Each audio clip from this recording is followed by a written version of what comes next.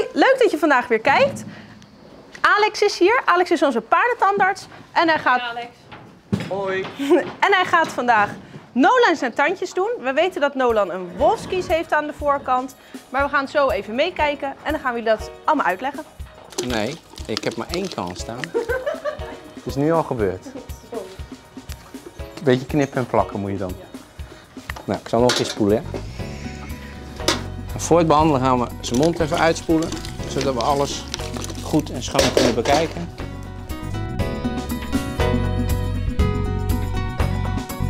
Om een goede gebitsbehandeling te doen, wordt het paard verdoofd. Zonder verdoving kan er niet goed achter in de mond gewerkt worden. De tong is dan te sterk en daardoor kunnen scherpe punten of haken niet van de tanden weggehaald worden.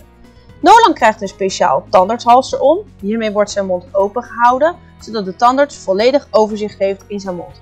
Dit alles wordt voor een goede en snelle behandeling gedaan.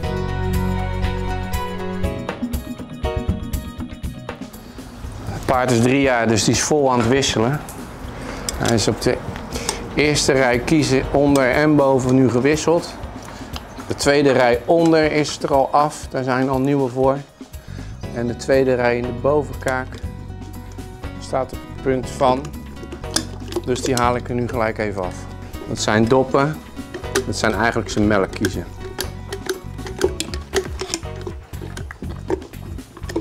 Daar waar die pootjes zeg maar nog in het tandvlees hebben gezeten, bloedt het een heel klein beetje, maar dat is heel normaal. Daaronder zit al gelijk de nieuwe kies. Ja, want die nieuwe, eigenlijk die grote mensenkies, die Ja. verdrukt die... Ja, die duwt die nieuwe, die duwt die dop, die, die melk kiest er gewoon eigenlijk uit. Ja. Dus die nieuwe die groeit, die, die, die groeit niet echt, die heeft een bepaalde maat, maar die wordt door de kop naar beneden gedrukt. En die drukt dan de dop los. En omdat je hem dan nu toch gaat behandelen, dan pak je ze er gelijk af. Dan zien we hier een fragment zitten van een wolfskies. Wolfskies is een klein kiesje voor de eerste rij kiezen, meestal in de bovenkaak. Deze kies heeft geen functie en is een overblijfsel uit de evolutie. Denk aan onze verstandskiezen. De wolfskies is een klein en scherp tandje en zit meestal los. Dit levert problemen op met het bit omdat het tegen de bovenkiezen aan ligt. Die moet er ook even uit. En dan zie je voor de rest dat hij over, langs de tongzijde in de onderkaak allemaal van die punten heeft zitten. Haken noem je dat. Haken komen voor bij alle paarden. Daarom is het heel erg belangrijk dat je paard minimaal één keer per jaar naar de tandarts gaat. Tanden van het paard blijven hun hele leven groeien en slijten nooit helemaal gelijk af. Hierdoor komen er scherpe punten op de tanden. Dit noemen ze haken. Deze haken kunnen enorm grote, maar ook kleine problemen veroorzaken. En die gaan we eraf halen.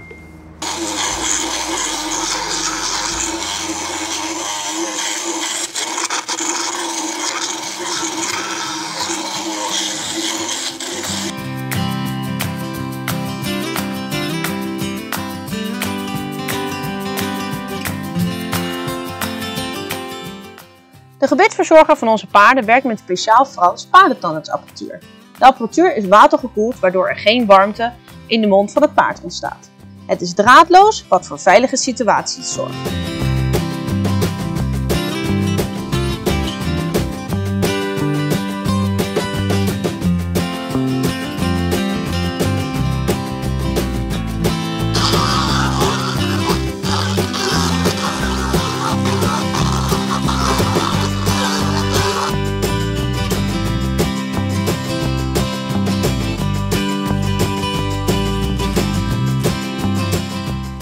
Alsjeblieft. Hoe lang eh, moet Nolan even rust voor een bit in zijn mond? Wij hebben nu een wolfskiesje verwijderd. Die was afgebroken. Die hebben we eruit gehaald. Eh, dat zit net voor de eerste kies. Daar op de plek waar eh, het bit zit. Dus als het gaat, dan zou ik dat paard liefst een, een paar dagen, een dag of drie, vier, geen bit in doen.